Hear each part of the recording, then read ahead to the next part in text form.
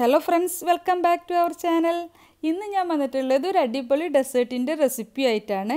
ക്യാരറ്റും പാലും ഉണ്ടെങ്കിൽ പെട്ടെന്ന് ഉണ്ടാക്കിയെടുക്കാൻ പറ്റുന്ന കുറഞ്ഞ ചേരുവകൾ വെച്ചിട്ട് ചെയ്യാൻ പറ്റുന്ന ഒരു അടിപൊളി ഡെസേർട്ടാണിത് വളരെ സിമ്പിളായിട്ട് കുറഞ്ഞ സമയം കൊണ്ട് നമുക്കിത് ഉണ്ടാക്കാനും പറ്റും. അപ്പോൾ നമുക്കിത് എങ്ങനെയാണ് ഉണ്ടാക്കുന്നത് എന്ന് നോക്കാം. പിന്നെ വീഡിയോ കണ്ടുകൊണ്ടിരിക്കുന്ന സമയത്ത് നിങ്ങൾക്ക് ഈ റെസിപ്പി ഇഷ്ടമാവുകയാണെന്നുണ്ടെങ്കിൽ ആ ലൈക്ക് ബട്ടൺ ഒന്ന് ക്ലിക്ക് ചെയ്ത് സപ്പോർട്ട് ചെയ്യണം. അതുപോലെ തന്നെ ആദ്യമായിട്ടാണ് ഈ ചാനൽ കാണുന്നത് എന്നുണ്ടെങ്കിൽ ചാനലൊന്ന് സബ്സ്ക്രൈബ് ചെയ്യാനും കൂടി മറക്കരുത്. അപ്പോൾ നമുക്ക് എങ്ങനെയാണ് ഈ ക്യാരറ്റ് കസ്റ്റേർഡ് ഉണ്ടാക്കുന്നതെന്ന് നോക്കാം. അതിനായിട്ട് ഞാൻ ഒരു പാന് ചൂടാവാൻ വേണ്ടി വെച്ചിട്ടുണ്ട്. അതിലേക്ക് ഒരു ടേബിൾ സ്പൂൺ നെയ്യ് ഇട്ട് കൊടുത്തിട്ടുണ്ട്. നെയ്യ് ഒന്ന് ചൂടായിട്ട് വരുമ്പോൾ ഇതിലേക്ക് കുറച്ച് നട്ട്സ് ചെറുതായിട്ട് കട്ട് ചെയ്ത് ഇട്ട് കൊടുക്കുകയാണ് ഞാനിപ്പോൾ എടുത്തിട്ടുള്ളത് ബദാമാണ്. ബദാമും അണ്ടിപ്പരിപ്പൊക്കെ നമുക്ക് ഇതിന് വേണ്ടിയിട്ട് എടുക്കാം. രണ്ടും കൂടി മിക്സ് ആക്കിയിട്ട് എടുത്താലും മതി. ഞാനിപ്പോൾ ബദാം ചെറുതായിട്ടൊന്ന് കട്ട് ചെയ്തെടുത്തതാണ്. ഇത് നെയ്യിൽ നന്നായിട്ടൊന്ന് റോസ്റ്റ് ചെയ്തിട്ട് മാറ്റി വെക്കണം. ഇതിപ്പോൾ പാകത്തിന് റോസ്റ്റ് ആയിട്ട് വന്നിട്ടുണ്ട്. അപ്പോൾ ഞാനിത് പാനിൽ നിന്നും മാറ്റുകയാണ്. ഇനി നമുക്ക് ഇതേ നെയ്യിലേക്ക് തന്നെ ഗ്രേറ്റ് ചെയ്ത ക്യാരറ്റ് ഇട്ട് കൊടുക്കാം. അപ്പോൾ ഞാനിവിടെ ഒരു രണ്ടേകാൽ കപ്പ് ക്യാരറ്റാണ് ഗ്രേറ്റ് ചെയ്ത ക്യാരറ്റാണ് ഇട്ടിട്ടുള്ളത്. അതായത് ഇരുന്നൂറ്റമ്പത് എം എല്ലിന്റെ മെഷറിംഗ് കപ്പിന് രണ്ടേകാൽ കപ്പാണ് എടുത്തിട്ടുള്ളത്. രണ്ട് വലിയ ക്യാരറ്റായിരുന്നു എടുത്തിട്ടുണ്ടായിരുന്നത്. ക്യാരറ്റ് ആദ്യം ഈ നെയ്യിൽ നന്നായിട്ടൊന്ന് വഴറ്റിയെടുക്കുക. അതിനുശേഷം നമുക്കിതിലേക്ക് പഞ്ചസാര ചേർത്ത് കൊടുക്കണം. അപ്പോൾ ഞാനിതിലേക്ക് ഒരു കാൽ കപ്പ് പഞ്ചസാരയാണ് ചേർക്കുന്നത്. പഞ്ചസാര ചൂടായിട്ട് വരുമ്പോൾ ഒന്ന് മെൽറ്റായിട്ട് വരുമല്ലോ. അപ്പോൾ അതിൽ ഈ ക്യാരറ്റ് ഒന്നുകൂടി ഒന്ന് വിളയിച്ചെടുക്കുക. നല്ല ഒന്നുകൂടി ഒന്ന് വഴറ്റിയെടുക്കുക. നന്നായിട്ടൊന്ന് വഴറ്റി വരുന്ന സമയത്ത് നമുക്കിതിലേക്ക് ഒരു മൂന്ന് ടേബിൾ സ്പൂൺ പാൽപ്പൊടി ഞാൻ എടുത്തിട്ടുണ്ട്. അതിലേക്ക് ഒരു കാൽ കപ്പ് പാലും കൂടി ചേർത്തിട്ട് നന്നായിട്ടൊന്ന് മിക്സ് ആക്കിയിട്ട് ഇതിലേക്ക് ഒഴിച്ചു കൊടുക്കാം. അപ്പോൾ പാൽപ്പൊടി കയ്യിലുണ്ടെങ്കിൽ ചേർക്കുകയാണെങ്കിൽ കൂടുതൽ ടേസ്റ്റ് ആയിരിക്കും. അല്ലാന്നുണ്ടെങ്കിൽ അതിന് പകരമായിട്ട് ഒരു കാൽ കപ്പ് പാൽ ചേർത്ത് കൊടുത്താൽ മതി. അപ്പോൾ ആ പാലിൽ ക്യാരറ്റ് ഒന്നുകൂടി ഒന്ന് വഴറ്റിയിട്ട് നന്നായിട്ട് ഒന്നുകൂടി ഒന്ന് വിളയിച്ചെടുക്കുക. അപ്പോൾ ഈ പാലിൽ ക്യാരറ്റ് നന്നായിട്ടൊന്ന് വഴന്ന് വന്നാൽ നമുക്കിതിലേക്ക് ഫ്ലേവറിനായിട്ട് ഒരു കാൽ ടീസ്പൂണ് ഏലക്കാപ്പൊടി ചേർത്ത് കൊടുക്കാം. എന്നിട്ട് വീണ്ടും നന്നായിട്ടൊന്ന് മിക്സാക്കി കൊടുക്കുക.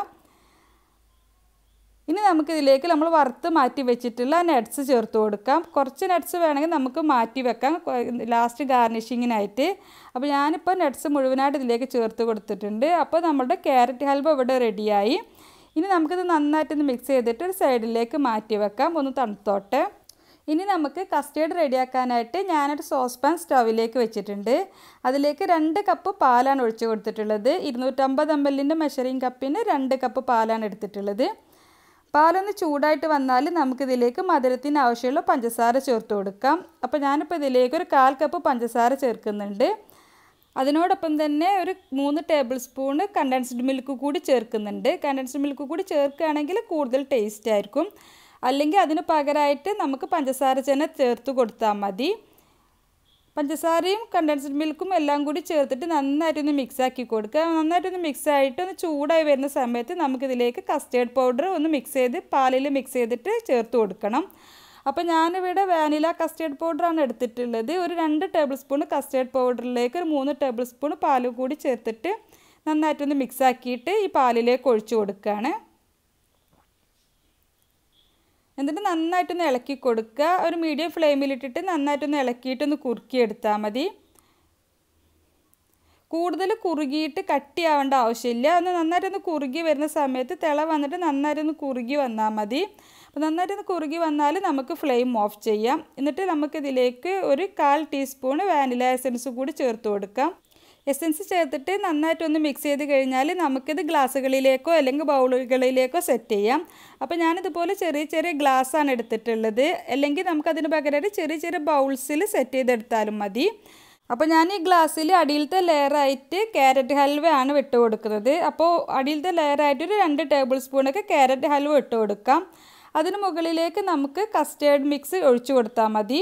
അപ്പോൾ ക്യാരറ്റ് ഹൽവ ആദ്യം ഇട്ടിട്ട് ഒന്ന് അടിയിലൊന്ന് സെറ്റാക്കിയിട്ട് ഒന്ന് അമർത്തി സെറ്റ് ചെയ്ത് വെച്ച് കൊടുക്കാം. നമുക്ക് ഇത് വേണമെങ്കിൽ വലിയ ബൗളിൽ പുഡിംഗ് ട്രേയിലായിട്ട് സെറ്റ് ചെയ്തെടുത്താലും മതി. അടിയിലത്തെ ലെയറായിട്ട് ക്യാരറ്റ് ഹൽവ വെച്ച് കൊടുത്തതിന് ശേഷം അതിന് മുകളിലേക്ക് നമുക്ക് കസ്റ്റേർഡ് ഒഴിച്ചു കൊടുക്കാം. കസ്റ്റേർഡ് ഉണ്ടാക്കിയ ഉടനെ നമുക്ക് ഇതുപോലെ സെറ്റ് ചെയ്തെടുക്കാം. അത് തണുക്കാൻ വേണ്ടിയിട്ട് വെയിറ്റ് ചെയ്യേണ്ട ആവശ്യമില്ല. അപ്പോൾ ഞാൻ ഇതുപോലെ എല്ലാ ഗ്ലാസ്സിലും ഒഴിച്ചു കൊടുത്തതിന് ശേഷം ഇതൊന്ന് തണുക്കാൻ വേണ്ടിയിട്ട് ഫ്രിഡ്ജിൽ വെക്കുകയാണ് അപ്പോൾ ഒരു രണ്ട് മണിക്കൂറൊക്കെ ഫ്രിഡ്ജിൽ വെച്ചാൽ തന്നെ നന്നായിട്ട് തണുത്തിട്ട് നന്നായിട്ട് സെറ്റായിട്ട് കിട്ടും. നന്നായിട്ട് തണുപ്പിച്ചെടുത്തതിന് ശേഷം സെർവ് ചെയ്യുന്നതിന് മുമ്പായിട്ട് നമുക്ക് ഇഷ്ടമുള്ള രീതിയിൽ ഇതൊന്ന് ഗാർണിഷ് ചെയ്തെടുക്കാം. ഞാനിപ്പോൾ ഇവിടെ കുറച്ച് ബദാം കട്ട് ചെയ്തത് ഇതിന് മുകളിൽ വെച്ചിട്ടൊന്ന് ഗാർണിഷ് ചെയ്യുകയാണ് അതിന് പകരമായിട്ട് നമുക്ക് പിസ്തയോ അല്ലെങ്കിൽ നമുക്ക് ഇഷ്ടമുള്ള രീതിയിൽ ഒന്ന് ഗാർണിഷ് ചെയ്തെടുത്താൽ മതി. അപ്പോൾ ഇത് നമുക്ക് സ്പൂണ് കൊണ്ട് ഇതുപോലെ കോരി കഴിക്കുന്ന ആ ഒരു രീതിയിലാണ് ഉണ്ടാവുക. അങ്ങനെ കട്ട് ചെയ്തെടുക്കാൻ പറ്റുന്ന ഒരു രീതിയിലല്ല ഇതുണ്ടാവൽ അപ്പോൾ നമുക്ക് സ്പെഷ്യലായിട്ടുള്ള എന്തെങ്കിലും ഒക്കേഷൻസിലൊക്കെ ഉണ്ടാക്കാൻ പറ്റിയിട്ടുള്ള ഒരു സിമ്പിളായിട്ട് ഉണ്ടാക്കാൻ പറ്റിയിട്ടുള്ള ഒരു ഡെസേർട്ടാണ് വളരെ സിമ്പിളാണ് ഉണ്ടാക്കാൻ അതുപോലെ തന്നെ കഴിക്കാൻ നല്ല ടേസ്റ്റുമാണ് കുറഞ്ഞ ചേരുവകളാണ് ഇതിന് വേണ്ടിയിട്ട് നമുക്ക് ആവശ്യമുള്ളൂ. അപ്പോൾ എല്ലാവരും ട്രൈ ചെയ്ത് നോക്കുക.